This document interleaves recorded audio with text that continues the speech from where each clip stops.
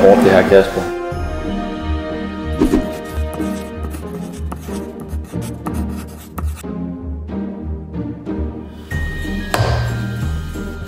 Velkommen til 6.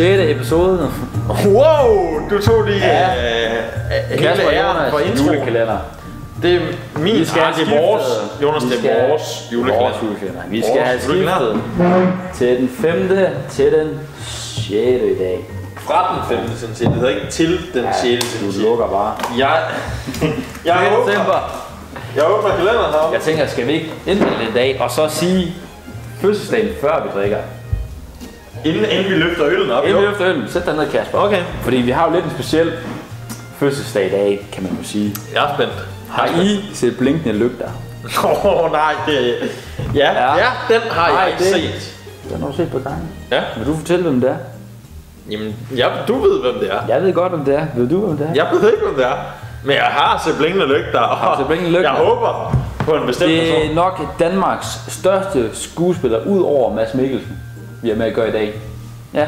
Så er vi Han altså starter med U og slutter på U. Ulrik Thomsen, mine damer og herrer. Åh, nej, nej, nej. Jeg ved det godt. Jeg ved det godt. Sådan. Ulrik Thomsen. Så er dagen ligesom Største startet. legende i dansk filmhistorie. Og det er det. Skal vi Og have på den note, synes jeg, at vi skal Vi skal have åbne lågen for i dag. Og Jonas. Gør det, Kasper. Jeg gør det lige. Gør det lige. Hvad har vi i dag? Nej, nej, nej, nej, nej. Det er en Seattle. Vi har jo Boston på en tredjeplads, og så har vi en Seattle. Vi havde jo endnu en uh, Det- American Coffee Stout. Det her, det er det, man kalder en rigtig mørk satan. Sådan en fra Afrika, hvis øh, vi skal Ja. helt øh, præcise. Ja, der står jo så American. Så det er jo men Amerika. det, er- Amerika. det er en indvandrer. Ja, det er det sgu. Vi, øh, Jonas, vi tager et lille, lille, men øh, betydeligt nyk op i dag. Vi Fordi siger, 6,5 tager vi i dag. 6,5 procent i dag. I modsætning til de 6,2 i går Ja. Skal lige læse op på vores ølhavre. Men øh, Jonas, Seattle er især kendt for to ting. God kaffe og god øl. I denne mørke stavl har brygmesteren kombineret de to skønne drikke. Det vil sige, at vi har simpelthen en kaffebajer i dag. der er En rigtig- kaffe. Ja, så sidste gang, der var den sort. Men i dag er den sort-sort. Vi skal have glasene frem, Jonas. Glasene frem. Vi skal have en oplukker. Vi skal have en har oplukker. æren. Jeg har æren. Du skal lige vende den ud, så man kan se den øh, flotte emballage. Skide godt. Etikette. Væk med den. Væk med den. Okay. Som I kan se her. En god mørk kage. Øh, mørk kage. Hvis man kan sige det sådan.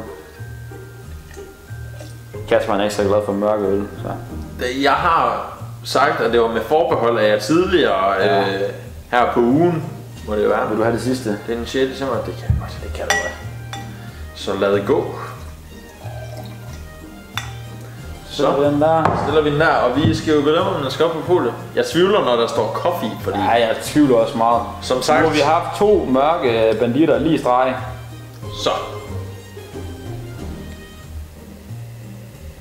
Det er kaffe. Det kan jeg i hvert fald Det lugte. er kaffe. Uh, Kasper. Det... Jeg øh, skulle lige gøre mig umage et øjeblik. Ja. Fordi Det øh, vi blev gjort opmærksom på, at vi sagde... Hvad var det, jeg sagde? Okay, Okay. okay, hver eneste gang, at øh, vi har duftet til Ja. vores øl.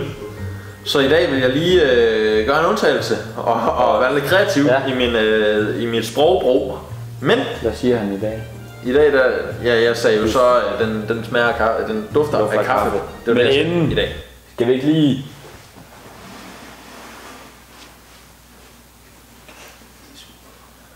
Og, og, og, og Jonas, han, øh, det, det han simpelthen signalerer ved at gå ud af billedet, det er jo, at, at Jonas, vi, han skal selvfølgelig have en nishue på.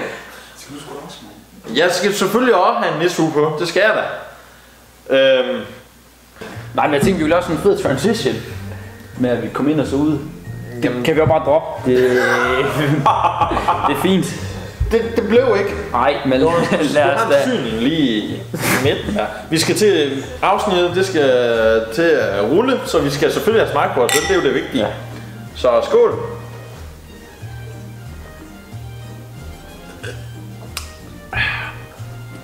Det er kaffe. Det er det, man kalder en kaffebajer. Jeg kan, jeg kan sige det igen en gang til. Det er kaffe. Det er ja, men jeg, jeg har smagt værre. Det har jeg. Altså, det kan godt være, Men det er længe godt- siden i går. Godt, øh, Det er længe siden i går, men jeg synes, ja, det er 24 timer, kan man sige. jeg synes faktisk, den er bedre end i går. Jeg synes ikke... Synes du? Ja, på en eller anden måde. Virkelig? Men Ja. det kan godt være, at, at nummer 6 øl giver mig lyst til kaffe, men, øh, Ja. men det er godt i hvert fald, at vi er blevet øh, mere klar til jul nu med næsure. Fordi nu nærmer vi snart. Vi Det er faktisk snart Santa Lucia. Ja, Ja. det er det jo. Det er jo 18 dage til jul, så øh, er det ikke rigtig noget? Det kan jeg ikke lave lige nu, men det er det sikkert rigtigt. Jeg tror, der er 18 dage til jul lige nu. Men skal vi drikke ud og så sige tak for den 6. december? Vi siger øh, tak for i dag, og den her, den rører Den får ikke en podieplads. let og elegant over på hylden. Over på hylden. Eller Og øh, tak for i dag. Ses i morgen til den 7. december. Det er fandme ulækkert, Kasper.